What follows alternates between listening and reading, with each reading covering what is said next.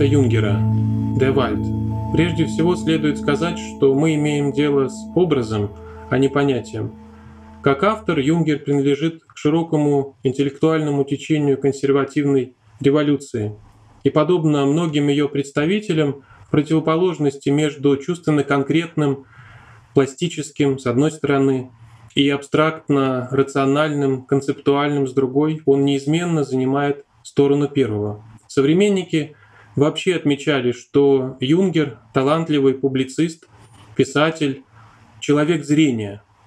Юнгер видит, не мыслит.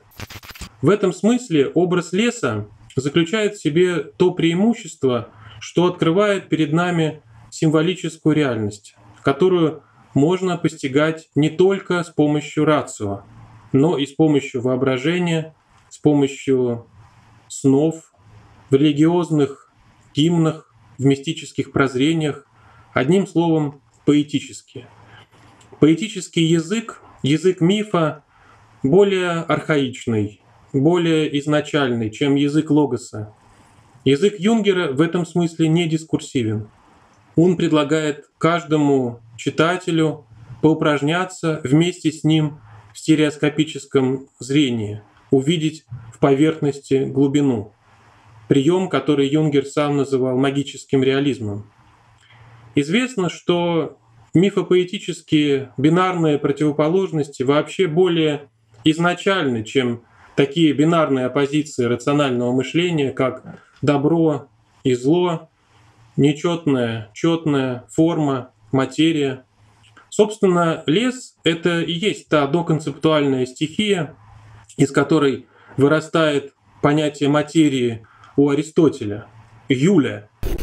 В эссе «Уход в лес», где впервые вводится это понятие или образ, или мифопоэтический образ, Юнгер имеет дело с феноменом государства позднего модерна, которое претендует на тотальный контроль и манипуляцию своими гражданами.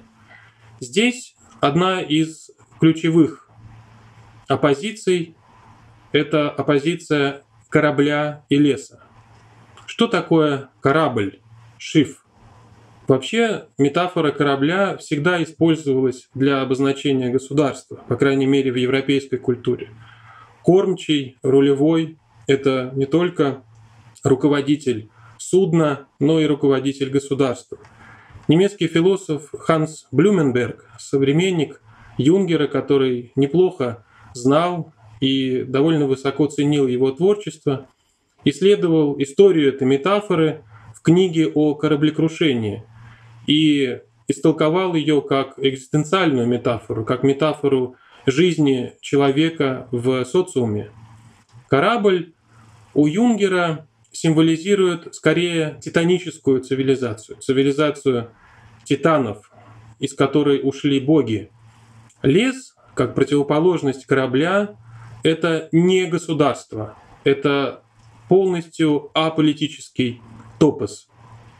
Если попробовать найти в эссе «Уход в лес» какие-то определения того, что есть лес, то самым распространенным определением станет место свободы. Я процитирую.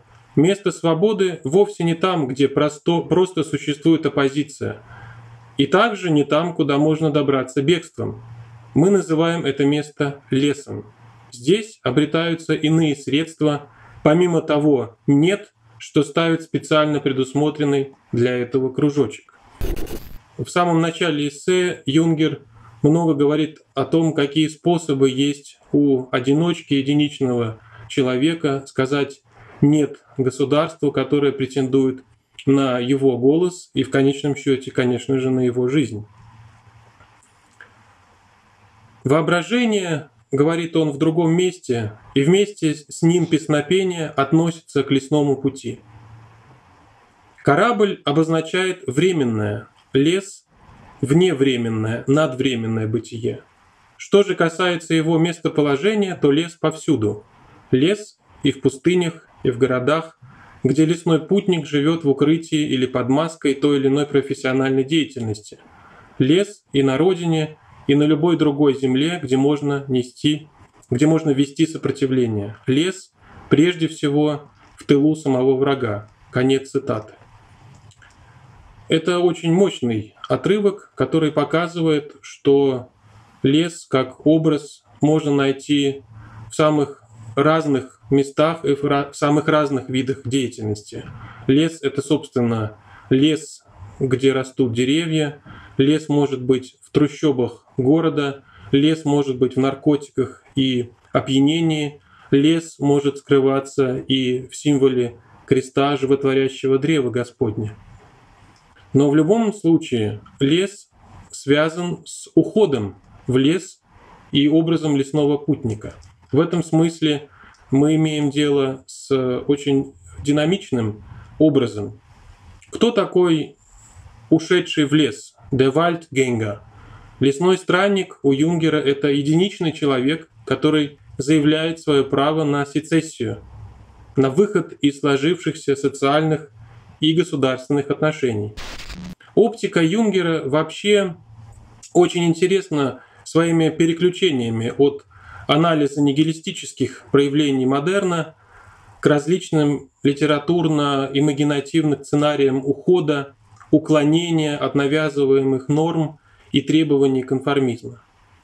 В этом смысле я трактую уход в лес как выход из метрического, расписанного, распланированного пространства. Выход куда?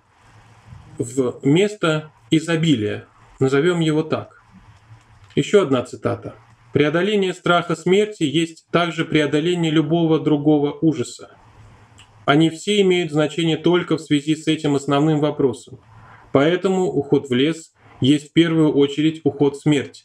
Он ведет прямо в направлении смерти, и даже если потребуется через нее.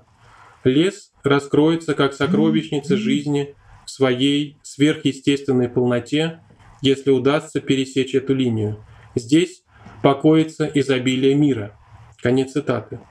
Мы видим, как в этом пассаже связывается изобилие, полнота и образ смерти. Причем трактуется смерть в позитивном ключе, как великий переход от временного бытия во вневременное бытие, как переступание через стену времени. Образ времени тоже чрезвычайно важен для раскрытия образа леса. В лесу время течет иначе. И для этого лучше всего можно было бы использовать знаменитую легенду о монахе из Гейстербаха, к которой обращается Юнгер.